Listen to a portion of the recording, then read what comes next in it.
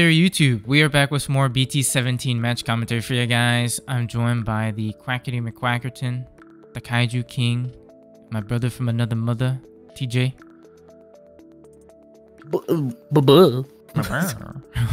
the uh, I'm uh, a guffawed as I have just confirmed that yes, you do the do the trash one regardless. Uh, people are gonna tell me in the comments.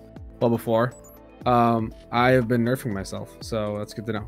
Good to know. Uh, Uh, but today's we've got some more match play commentary. These are still filmed from TJ's house. We're doing some testing as we um, are getting ready for the official release of BT17, which has been just a couple days now um, as a video release. Today's matchup features Ryo, who's playing Imperial on the left, going up against TJ himself, who's playing Dex Dorugora on the right.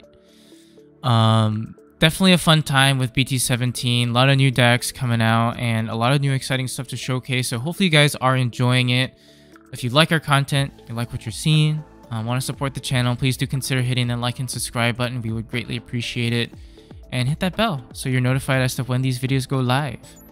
Um, and second of all, you know, if you want to continue intera interacting with us, feel free to hit up our socials, which are linked down in the video description below contains our Twitter, our Instagram, our Discord, all that good stuff. Um, and the Discord is probably the best place for you to find the deck lists that are run on the channel. So if you're looking for them, hit us up over there. We'll be sure to point you in the right direction. Uh, but yeah, without further ado, enough yipper yapper. Let's hop right into the round over here. so um, yeah. So I was I was messaging Sunny about it because he's also been playing Dex Dorugora, Mm. and uh, yeah, he confirmed it as well. I was like, ah, okay. So that's good to know. Good to know that I've been nerfing myself. I don't do it in this. I don't think. I don't know. We'll find out. Uh, we see Ryo have a pretty decent start. He just goes Veemon into a Stingmon. Probably not like your ideal Stingmon, but I mean, having a level 4 ready to go in the back is always good gas. And then you also have some good setup here with a training and a cool boy.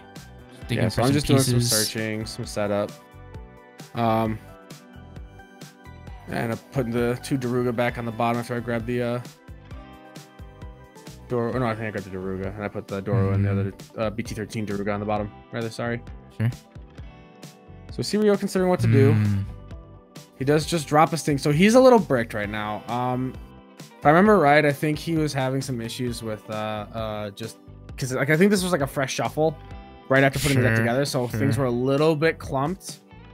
Um, so uh, I'm able to go Doruga, Evil for free into it, uh, pitch one, draw one, and then make it so that Stingmon has to swing because I have a Tamer and sources.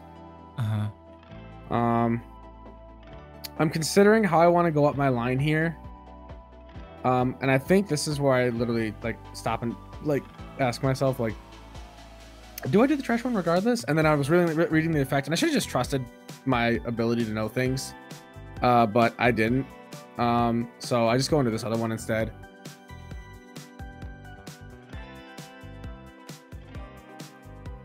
You do the go to Dex Doruga play, gain the memory, go into Dex.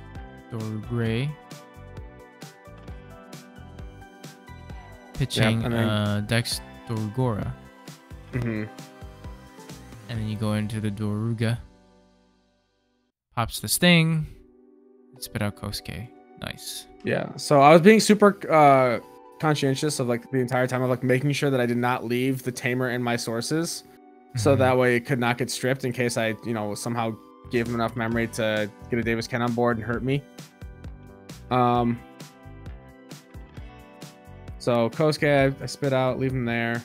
Uh Mm. Ryo is still pretty bricked. He's not seeing the other half of his line. He doesn't have end of turn DNA, he doesn't have any tamers. So um, he just goes in the back, and I just start working on another line while getting the Dorugora set up. Oh, Zubagon. Yeah, so I Zubagon punch. Go ahead Oh, and swing there's a Davis and checks. That's not bad.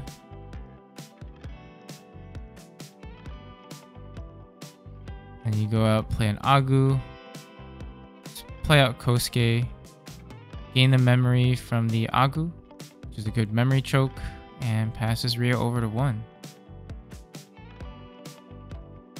Uh, Ryo will just go into a dragon mode from BT16. We suspend the Davis and Ken to gain a memory.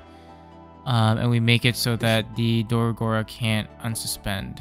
Yeah. So here's the thing. So the Dorugora should have been unsuspended from the Zubagon punch because Right. of reboot.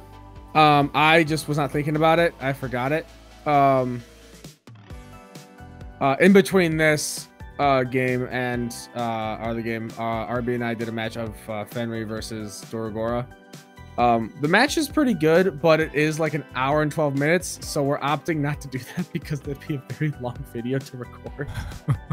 um, We can always do it RB another day. We could, we could, um, but probably not. I, I think it's. I- I, don't think it's. I don't think it's a. It would be a forty-minute video. I don't think it would uh, be conducive to a good time, unless people feel differently in the comments. Let us know if you want those longer videos, but I can't imagine that you do. Um,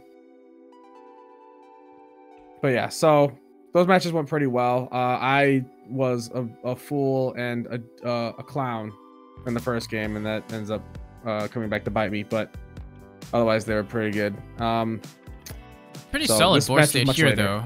Um, Yeah. You've got two cool boys. You got three bodies on board. You've got one of your big guys, and you Dor Jin. Ooh.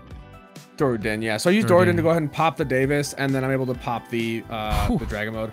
Um, and for people like with the with the stun thing, it really wouldn't have made a difference because he would have just like the cool boy would have been unsuspended regardless, like it did unsuspend. Um, he just would have just suspended and then locked, or would have you know locked down and then suspended the Dorgor to make sure it couldn't unsuspend. Um, right. So the game state would have been exactly the same as it was pretty much as he was passing turn. It's just a little bit different and unresolved. Mm, That's all. And Ryo just has to hard evo into another Pail, which is rough. Yeah, he's stuck. So losing the Davis Cantamer was tough. Losing the line is tough. I didn't evo or do anything by an effect, so he's just kind of stuck. Um, so I'm just trying to like, I'm just, I'm playing it safe because I know how explosive Imperial can be. Mhm. Um, so I go into a Doruga here, go ahead and draw one, and then I'm able to pitch one to draw another. And then at this point, I'm just considering just trying to choke to one to be safe. Um, Sure. So I go into a uh, Dex Druga, gain two, draw two, pitch another one to gain one, so I'm back up to four. Um, and then I'm just debating. And I think yeah, you tuck the Kosuke under both Yeah. your bigger stacks. So the Dexter Yeah, just- and the Dorgora. Yeah, try and get some draw going. Go into a Dorogray there. Um, and then uh, I go ahead and just push some damage real quick. I do hit a V, so I'm all good. Any reason you didn't alliance with the? Uh, I don't have it right now. I need to have AG and sources. Oh, that's right. That's right. Kosuke is just piercing piercing, blocker. and blocker. Yeah, yeah, yeah. Yeah. Um, and then I have to just spit out one Kosuke. Just go ahead and just Yeah, uh, I get mean, the one fair. memory from Agu and draw one and just choke the one again. Yeah, you have a very intimidating board state right now, and Ryo is just try- really just playing catch up, if anything. Yeah, so this time he just locks down, suspends doorway. It doesn't really matter though. Um, turn passes to me. I go to three. Uh, I Mhm. make sure I sp- spit the uh, Kosuke before it gets too far. Um, he locked down my Dorugora, Mhm. so uh, start a main. I just go ahead and tuck the um, the Doru. Go ahead and put a Kosuke under there. Just pop the uh, Pop the Dragon stack, mode. and then just go ahead swing for the yeah, and then fences. Yeah. swinging. Yeah, and we go to game two. Oof. Yeah, so Ryo was just kind of stuck. He was stuck on just all the top end. Yeah. You know, the amount of times I played against Dex Dorugora already, I I want to put the deck together. You have inspired me. It's very fun. It looks very fun. It's very very fun. It's just it's it's like I've been saying in previous videos. It's very hard. There's so many micro decisions that you can make that like I, I don't want to sound like a broken record. Well, at least it's across videos. Oh, so look, you know people have days in me. between. I am texting you. That's true. At least they didn't see my nudes. Um. Anyways, uh. So it- it's it's just hard because there's so many micro decisions you can make that like will make or break a game for you. Mhm. Um, like I was doing like the uh, well, I'll talk about it in the next video that we do. Um, but like this match went pretty well overall, mostly because Ryo just bricked. But I was also able to like I was I think I was resolving stuff pretty well, and I was seeing the cards I needed to see for all my my combos, which was nice. Um, the hour plus long video with uh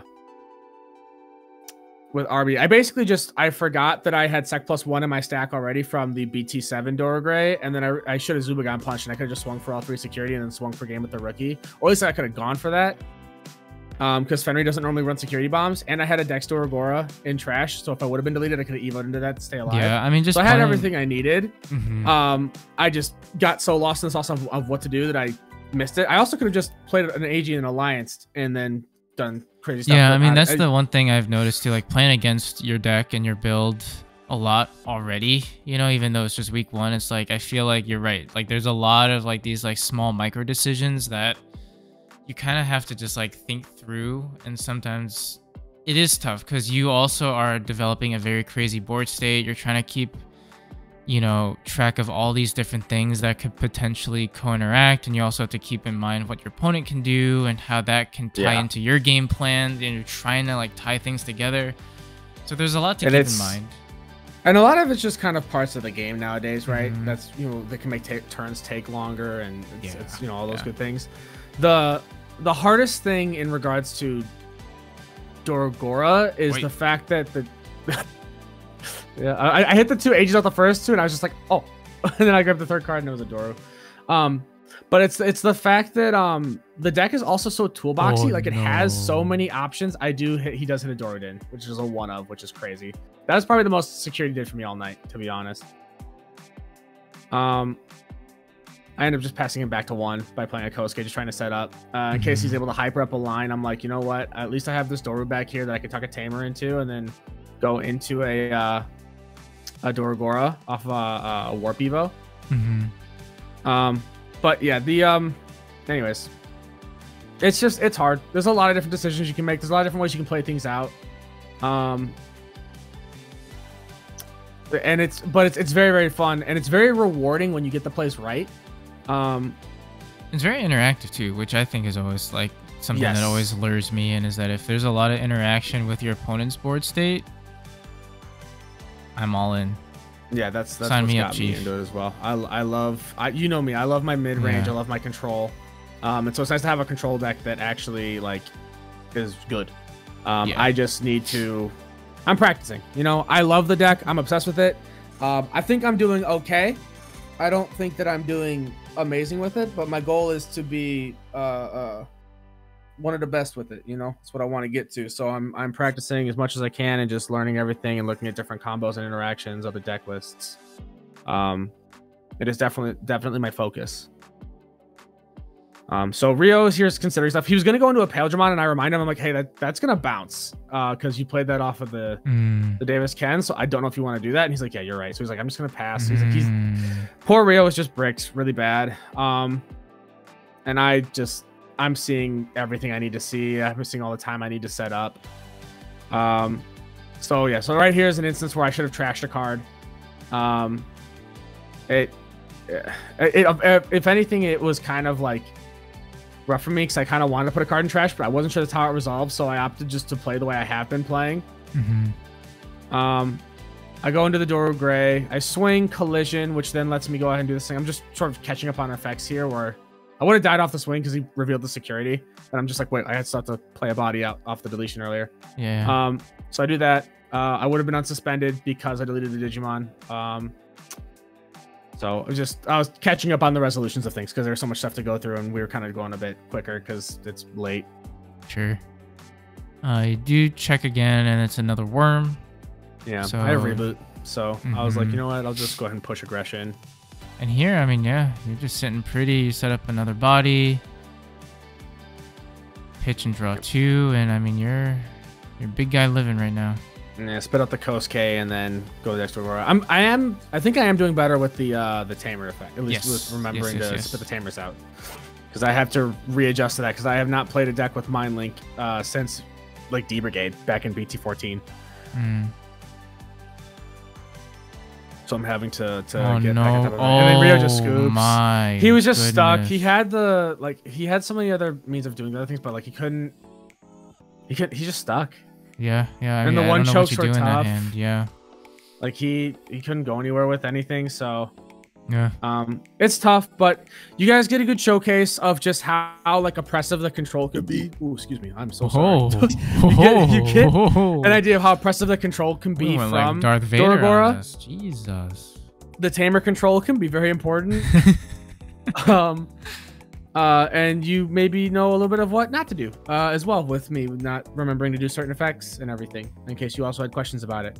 Um, Yeah. And don't Yeah. be fooled. Imperial's terrifying. You have to play it super carefully. If if if Ryo wasn't if Ryo uh, like was unbricked for even a turn, the entire game can change. Sure. Um, sure. so you know, it's also just unfortunate. Like he didn't see partition. He didn't see like the BT16 Paildra when he was finally able to DNA. There's just a lot. There's a lot going on there. Yeah. Uh, but like TJ said, hopefully you guys did enjoy it. Let us know what you think in the comment section down below. Um, and yeah, you know, hopefully you guys are enjoying the new BT17 content and there is definitely more to come. So stay tuned and hopefully we catch you on that next video. Bye-bye. Bye. -bye. Bye.